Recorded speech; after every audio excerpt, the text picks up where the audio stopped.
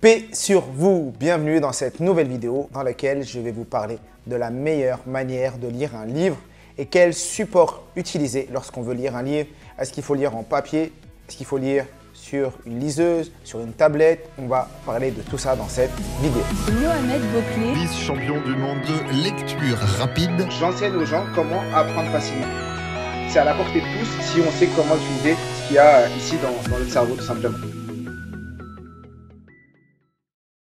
Paix sur vous, bienvenue dans cette nouvelle vidéo où je vais vous parler du support de lecture.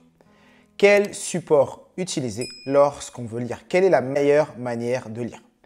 Tout d'abord, on se pose beaucoup de questions sur est-ce qu'il faut lire forcément sur papier, donc dans un livre, comme on nous a appris à l'école, on a toujours assimilé la lecture à un livre, mais il faut savoir qu'on passe nos journées à lire. Oui, on passe nos journées à lire, que ce soit sur ordinateur, sur notre téléphone, on lit en moyenne 3 à 4 heures par jour. Que ce soit les mails, les rapports, dans la rue, sur notre téléphone, on passe notre journée à lire. Donc, la première chose qu'il faut se dire, c'est qu'il faut adapter sa lecture en fonction du support qu'on va utiliser. Lorsqu'on va vouloir lire un livre, moi, je privilégie les livres papier. Pourquoi? Parce que lorsqu'on lit dans un livre papier, on va utiliser l'aspect kinesthésique. On va utiliser le corps. On va utiliser le toucher, le fait de toucher les pages, de toucher, de tourner les feuilles. Tout ça crée des émotions et va ancrer l'information et ancrer le savoir dans notre tête. Ensuite, lorsqu'on va utiliser les feuilles papier, on va se rappeler de l'endroit où on a vu l'information. Est-ce qu'elle était en haut de la page, en bas de la page?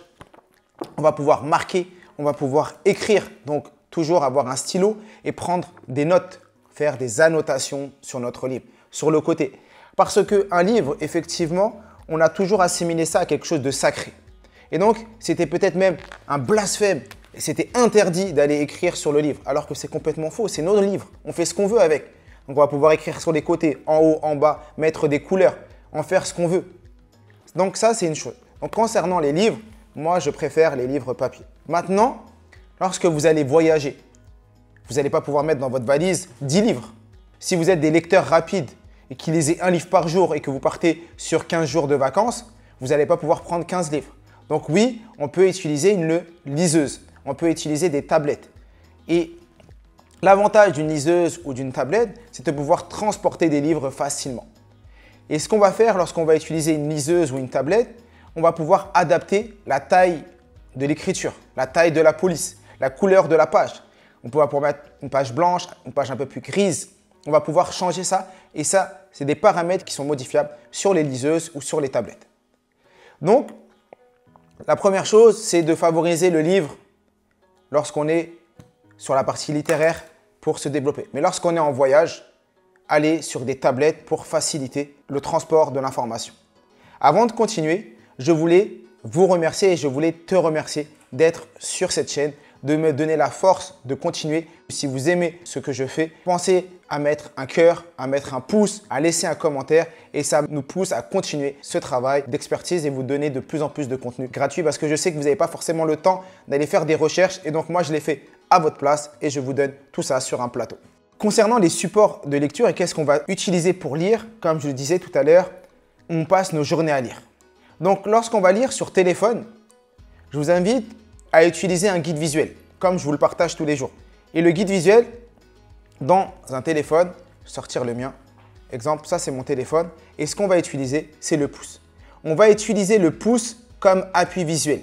On va réduire la luminosité pour ne pas fatiguer nos yeux et on va toujours utiliser son pouce comme guide visuel.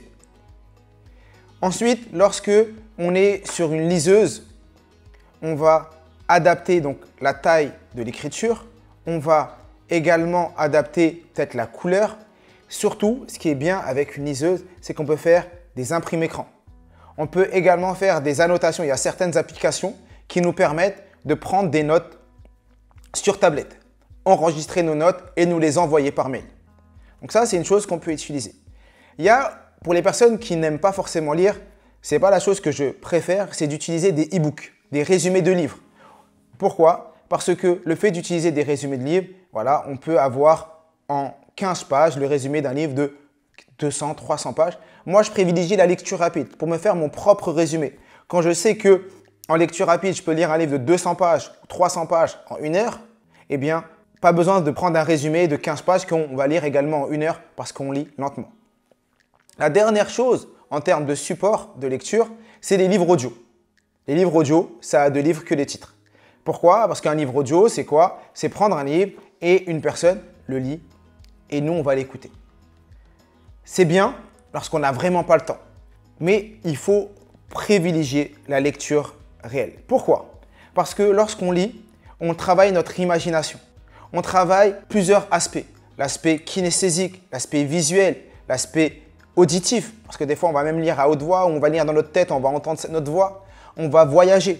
Lorsque on est en train juste d'écouter une voix qui nous raconte le livre, eh ben, on n'a pas cette partie émotionnelle. Parce que lorsqu'on lit un livre, on va créer des émotions. Des fois, on va aller vite, des fois, on va ralentir. Et lorsqu'on écoute un livre audio, on a juste l'intonation de la voix. Et c'est elle qui va choisir à notre place les moments importants du livre. Donc moi, je vous invite vraiment à privilégier les livres papier ou sur tablette et non pas les livres audio.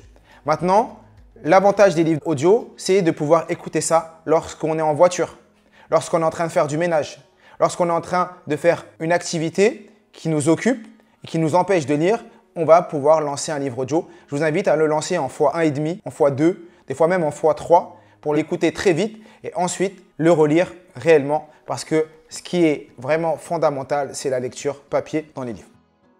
J'espère vous avoir donné les clés pour choisir entre un livre papier, un livre audio, une tablette également. Et maintenant, à vous de jouer, à vous d'appliquer, à vous d'aller à la bibliothèque, aller dans une boutique, chercher des livres et commencer à lire c'est fondamental.